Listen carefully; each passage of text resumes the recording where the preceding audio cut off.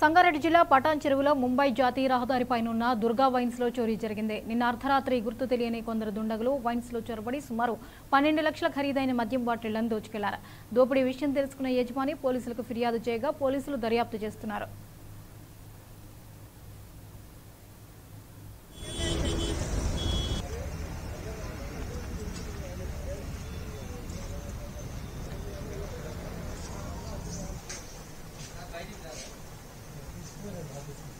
Record అయ్యింది వాళ్ళు వచ్చింది కూడా దాంట్లో రికార్డ్ అవుతుంది దాటిన తర్వాత నవభాన్ చౌరస్తాలో హైవే మీద ఉన్నటువంటి దుర్గా వైన్స్లో ఈ చోరీ జరిగింది థెఫ్ట్ జరిగింది అంటే లిక్కర్ స్టాక్ అనేది రాబరీ జరిగిందనే ఇన్ఫర్మేషన్ ఇన్ఫర్మేషన్ వచ్చింది.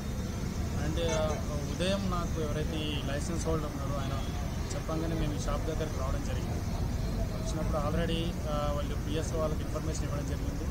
వాళ్ళు కూడా వచ్చి వాళ్ళు clues team and finger print వాళ్ళు కూడా తీసుకోవడం ఆ తర్వాత మేము షాప్లోకి వెళ్ళి పరిశీలించినప్పుడు ఈ షాప్లో ఉన్నటువంటి హై లిక్కర్ మెయిన్గా ప్రీమియం బ్రాండ్స్ అన్నీ కూడా ఈ రాత్రి థెఫ్ట్లో ఒక అన్నోన్ వెహికల్లో కొంతమంది వచ్చి ఈ మధ్యాహ్నంతో తరలించినట్టు మాకు అర్థమైంది.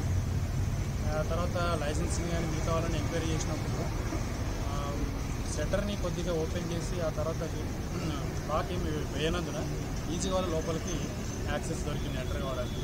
ఆ తర్వాత లోపల అటువంటి బ్లెండర్ స్ప్రేడ్ కానీ సిగ్నేచరు తర్వాత um, టీచర్స్ ఇట్లాంటి హై లిక్కర్ జానీ వాకర్ కానీ తర్వాత బ్లాక్ డాక్ కానీ ఇలాంటి హై లిక్కర్ అంతా కూడా వాళ్ళు సుమారుగా